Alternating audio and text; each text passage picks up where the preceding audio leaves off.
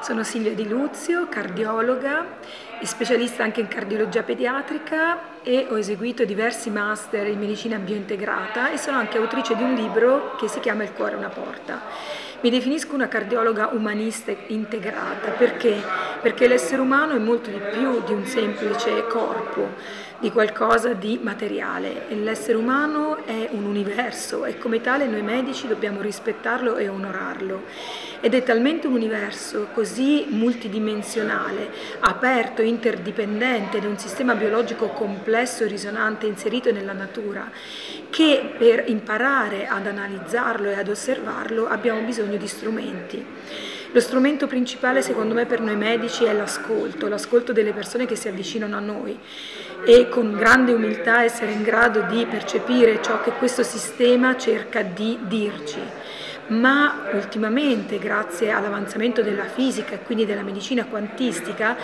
abbiamo cominciato ad avere degli strumenti che possono aiutarci nell'analisi dell'essere umano dando a questo corpo una voce e questo strumento è l'S-Drive eh, che io consiglio vivamente perché è uno strumento che riesce ad interpretare e a dare appunto una voce a ciò che è una disarmonia che in questo momento è presente nel corpo della persona che abbiamo di fronte. Chiaramente non è uno strumento diagnostico e terapeutico, ma è uno strumento di grandissima utilità, grandissima utilità e aiuto per i medici che poi possono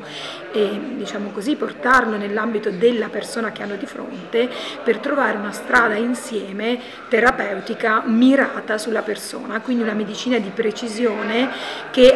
in questo periodo storico eh, sta diventando necessaria. E io ringrazio infinitamente Giorgio Terziani perché con la sua grande visione della medicina, del futuro, ha anche creato questa meravigliosa scuola di epigenetica che riesce veramente a portare alla luce l'importanza dell'analisi a 360 gradi della salute e quindi un focus sulla salute più che semplicemente sulla malattia. E per chi fosse interessato ad approfondire su queste informazioni c'è un meraviglioso sito che si chiama cellwellbeingitalia.it. Grazie.